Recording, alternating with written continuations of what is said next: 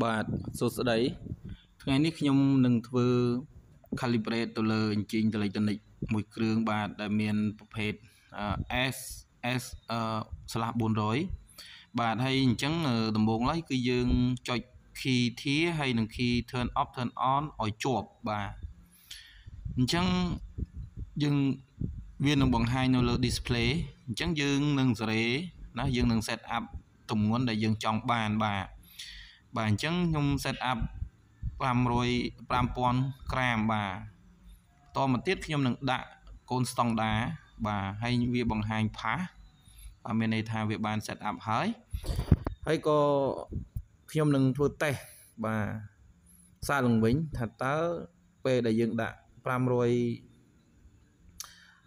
5000ក្រាមហ្នឹងតើវាត្រឹមត្រូវអត់បាទ